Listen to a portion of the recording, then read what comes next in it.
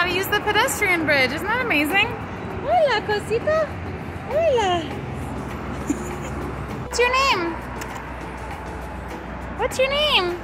So I stayed in an Airbnb that was walking distance to these hot spring mineral baths. It cost me $12 to enjoy a really nice experience, detoxifying my body and relaxing. Ah, this feels amazing.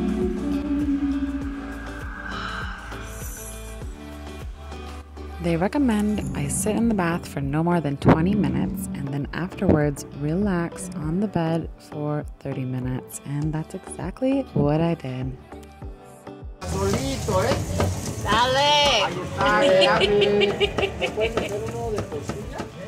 After the bath, I walked around in search for some delicious street tacos and I found them. I ordered two to see if I liked them and immediately ordered two more. cost me $2 to eat all these tacos. Right across the street, I found a bakery, and of course, I'm craving something sweet. So I walk inside this bakery, and wow, my eyes just pop out of my head. There's so many delicious looking things. But I'm craving a donut. Mmm.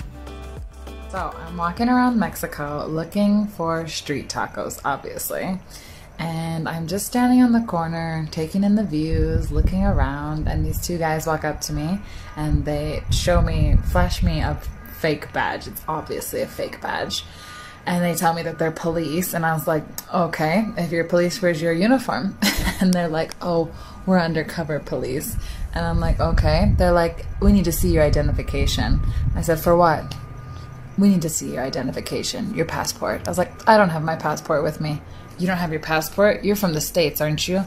Where's your passport? I said, It's at my hotel. I was like, You can leave me alone now. And they're like, No, we're police. You have to show us your identification. I was like, Okay, bye. Stop bothering me. Bye. And they just looked at me as I walked away. I'm like, What the hell? Like, what's the scam? You see my identity? You take it? I don't know. I'm confused. But, anyways, the point of all of this is just because people say they're police does not mean that they are police. And you can question them 100% all the time, especially if you're just standing in the street doing nothing. Like, of course, I don't need to tell you my name. I don't need to tell you my hotel. I don't need to tell you anything about me. I'm like a bunch of clowns, payasos. That's what I called them.